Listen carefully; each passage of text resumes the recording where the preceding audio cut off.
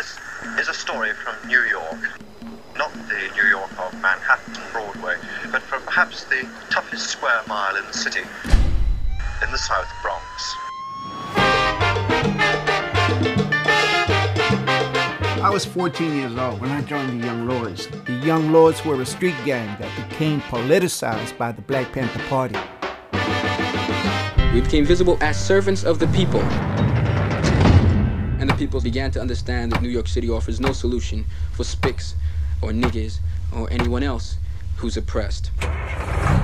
One of our targets was Lincoln Hospital. That building was condemned 25 years ago. Condemned. Condemned for rich people and opened up for poor people. It was a place that you went to to die. Lincoln was called the butcher shop. Blood stains on the walls, blood stains on the floors. And there was a rat in the emergency room. We have seen children get lead poisoning while hospitalized at Lincoln Hospital. So we felt now is the time for us to say exactly how we're going to respond to the killings of our people.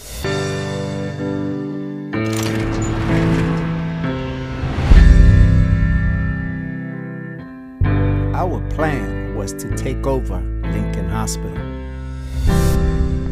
We have to begin to stand up as a people, the Puerto Rican people, and say that's enough. That's enough. We have been asking for changes to take place, and you've paid no attention to us.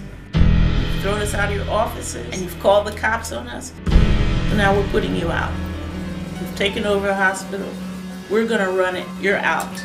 And I will walk you to your car.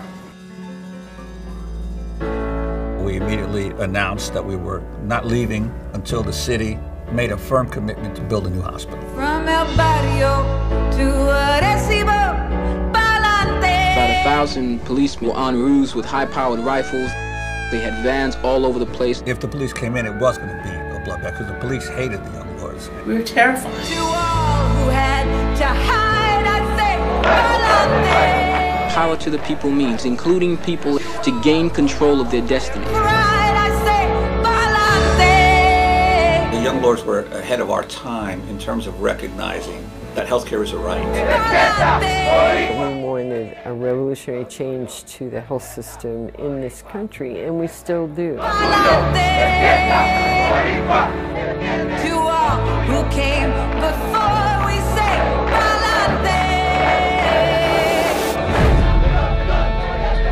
no oppressor It's invincible.